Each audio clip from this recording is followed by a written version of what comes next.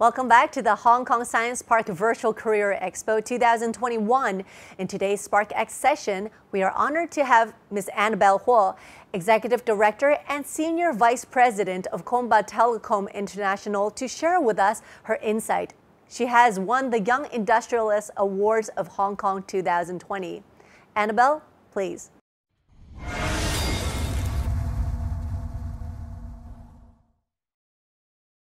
Hello, everyone. I'm Annabel Huo from Comba Telecom.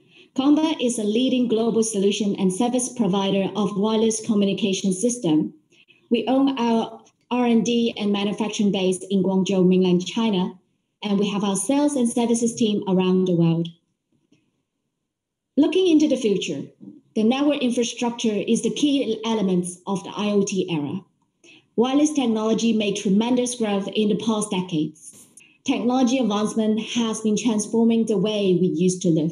We foresee the technology will continue to advance our life in the future. The living environment will further evolve and become intelligent. More and more emerging technologies will be invented for shaping our future networks and communications, addressing the growth of IoT applications needs and bringing us to a new artificial intelligent living model in the coming 10 to 30 years the world will be much smarter and more automatic. The ultra-fast and super low latency connectivity brought by 5G will open up more potentials and possibilities for the new world. The human machine working model is likely to be replaced by automation.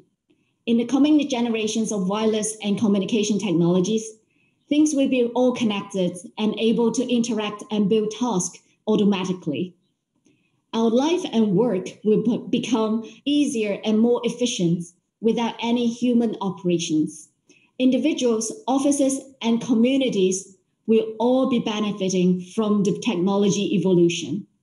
Imagine that there are drones flying everywhere to deliver food or retail orders, cars connected to the cloud of self-driving, smart mirror checking your health and send data to your doctor.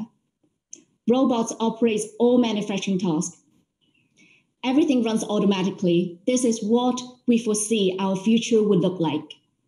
Innovation and technology are our future. The industry needs some more ICT talents to join us to develop new technologies and create the age of artificial intelligence.